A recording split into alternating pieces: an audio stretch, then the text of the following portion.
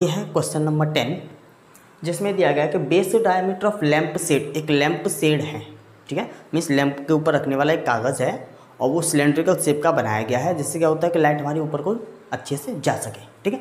अब जो lamp shade है, उसका जो डायमीटर है तो वो ट्वेंटी सेंटीमीटर है। और डायमीटर अगर ट्वेंटी है तो रेडियस कितनी हो जाएगी? Just half means ten.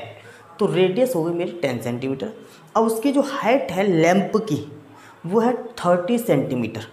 लेकिन उस पर जो कपड़ा हम लगाएँगे तो हमें क्या कि ढाई मीटर ऊपर और ढाई मीटर एक्स्ट्रा नीचे हमें चाहिए उसे फोल्ड करने के लिए, ठीक है? इसका मतलब उसकी जो कपड़े की जो टोटल लेंथ है, वो मेरी बढ़ जाएगी।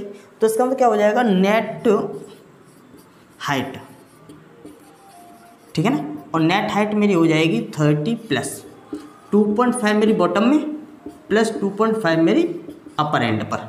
इसका मतलब टोटल हो जाएगी मेरी थर्टी फाइव सेंटीमीटर अब वो पूछ रहा है कि कितना कपड़ा चाहिए जिससे कि वो लैंप सेट बन सके। इसका मतलब क्या लैंप सेट ऊपर नीचे से खुला होगा। और ऊपर नीचे से खुला हुआ तो मुझे क्या निकलना पड़ेगा? सी एस ए तो हमें क्या लेंगे यहाँ? सीधा सीधा C S A of lamp shade.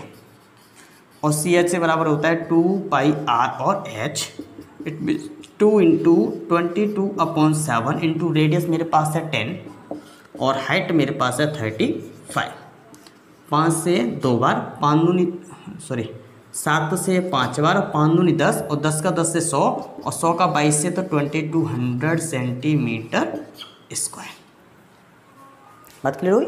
इतना सेंटीमीटर स्क्वायर मुझे कपड़ा चाहिए लैंप सेट बनाने के लिए। Thank you for watching